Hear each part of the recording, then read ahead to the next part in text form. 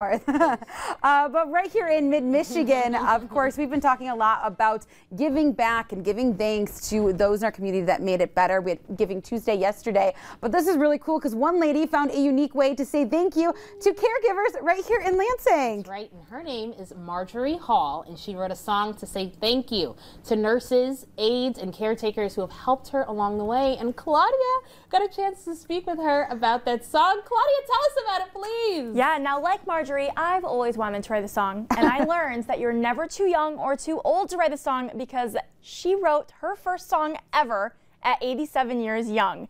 And it was her perfect way of saying thank you. So here it is, The Caretaker. Take a listen.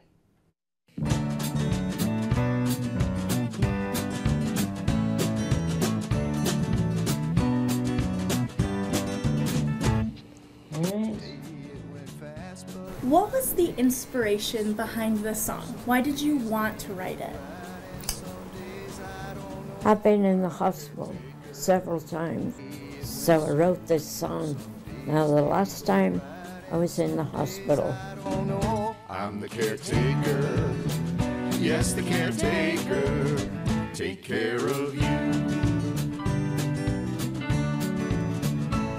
Marjorie Hall of Lansing has found herself in Sparrow Hospital a few times in recent years. And at home, nurses, aides, and caretakers have become a very important part of her daily routine. I'm doing this not for me, but for the hospital, and I want help for them. Marjorie knows just how hard her nurses, aides, and caretakers work too.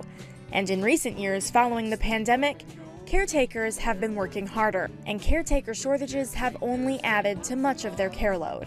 This has been going on for a long time. But nonetheless, the caretakers are still there for her. They're still there for all of us. I thought, well, maybe I could write a song. I said, okay, I'll try. It was during her last hospital visit she knew she had to thank them. Or has music always been a big part of your life? Well, the Beatles. I like uh, Mario Lanza.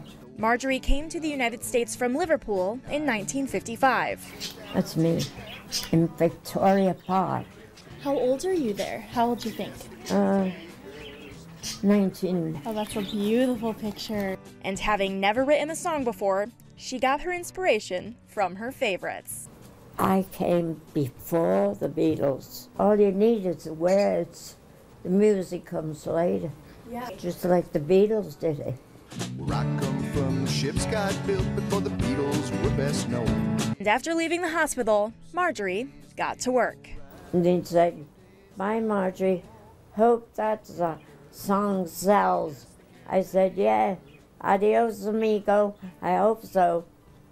Another day begins when most folks are still asleep. We cook, we clean, we shop with pride. Our love runs very deep. I'm the caretaker. Yes, the caretaker. Take care of you. Marjorie says the song is for her caretakers and for all caretakers. If she can't thank each of them personally, she hopes they hear this song. I'm thinking of the people at the hospital that need help, aides. This is the song, the aides. I wouldn't be in this apartment if it wasn't for my caretakers. Thank you very much. We're the caretakers. Yes, the caretakers. Cares what we do.